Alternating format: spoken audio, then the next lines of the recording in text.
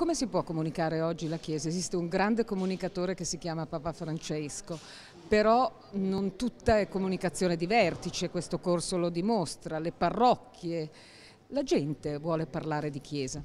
Assolutamente sì, il Papa è uno storyteller speciale e tutti noi siamo chiamati a trovare le storie in casa nostra, sul territorio sono moltissime, penso alle storie di mamme che accutiscono i bambini, di papà che cercano lavoro dopo un momento di crisi. Ecco, raccontare le storie significa in qualche modo consegnare delle parole che hanno la forza della vita, hanno l'urgenza di un appello dell'esistenza, quindi questo è quello che credo sono chiamati a fare i comunicatori delle parrocchie, che molto spesso sono dei volontari, quasi sempre, diciamo sempre sono dei dei volontari.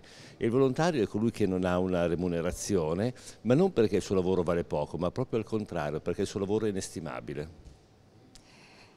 Anche per questo, pur dirigendo una struttura così importante della Chiesa universale come, come fai tu, è comunque rilevante confrontarsi con la base, chiamiamola così.